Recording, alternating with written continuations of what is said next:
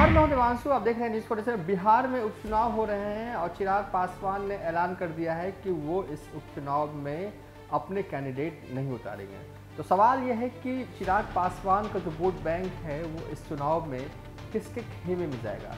क्या नीतीश और महागठबंधन के खिलाफ जो लोजपा के जो वोटर हैं, वो वोट देंगे? चलिए बेसिकली इस वीडियो में हम आपको पूरा सिनेरियो समझाते हैं चिराग पासवान के चुनाव में नहीं उतरने से किसे फ़ायदा हो रहा है गोपालगंज और मोकामा में?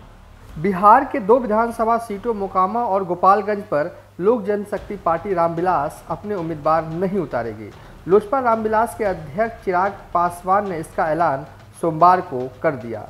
दिल्ली में पार्टी की राष्ट्रीय कार्यकारिणी की बैठक के बाद मीडिया से बात करते हुए चिराग पासवान ने बताया कि मोकामा और गोपालगंज उपचुनाव को लेकर राष्ट्रीय कार्यकारिणी की बैठक में चर्चा हुई। चर्चा के बाद पार्टी ने फैसला लिया है कि इन दोनों सीटों पर उपचुनाव में लोजपा रामविलास अपना उम्मीदवार नहीं उतारेगी। चिराग से जब यह सवाल पूछा गया कि पार्टी किस गठबंधन का समर्थन करेगी, तब उन्होंने कहा, हैं, ऐसे में उनकी पार्टी उस गठबंधन का समर्थन नहीं करेगी, जिस गठबंधन में नीतीश कुमार शामिल होंगे।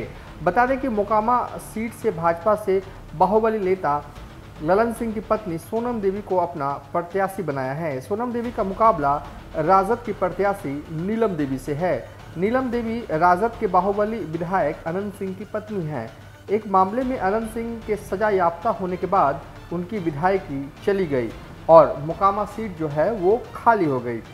वहीं गोपालगंज से बीजेपी की उम्मीदवार कुसुम देवी हैं। कुसुम देवी दिवंगत सुभाष सिंह की पत्नी हैं। उनका मुकाबला आरजेडी के मोहन गुप्ता से है। बीजेपी के विधायक रहे सुभाष सिंह के निधन से गोपालगंज सीट खाली हुई है। तो कुल मिला है, चिराग पासवान ने दिल्ली में ये बता दिया है कि जिस गठबंधन में नीतीश कुमार रहेंगे, उनके जो वोटर्स हैं, वो नहीं चाहते कि वो उधर वोट करें। तो कुल मिला के हैं, एक तरह से इनडायरेक्टली चिराग पासवान ने कह दिया है अपने वोटर से कि आप बिहार उपचुनाव में बीजेपी, यानी कहे कि बिहार एनडीए को वोट करें। ये संकेत बड़ा है जिस तरीके से चिराग पासवान जो है उन्हें बिहार उपचुनाव में उन्होंने उम्मीदवार नहीं उतारा। उसके बाद आज दिल्ली में बड़ा बयान भी उनका आ जाता है कि जिस गठबंधन में नीतीश कुमार हैं, उनके पक्ष में वोट जो है, वो बिल्कुल नहीं देना है। तो क्लियर कट चिराग पासवान का जवाब था, इशारा था कि बीजेपी को ही वोट करना है। फ़िलहाल अभी तक के लिए इतना ही। आप देखते रहिए न्यूज़ फॉर नेशन